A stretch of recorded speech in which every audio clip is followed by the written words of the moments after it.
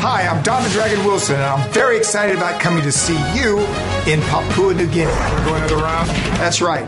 I've got the privilege of making a brand new motion picture called The B Team for worldwide release, and along with other international action stars such as Cynthia Rothrock and oh so many others. We'll bring PNG to the eyes of audiences worldwide, showing the extraordinary sights and history of your beautiful country. Made in PNG.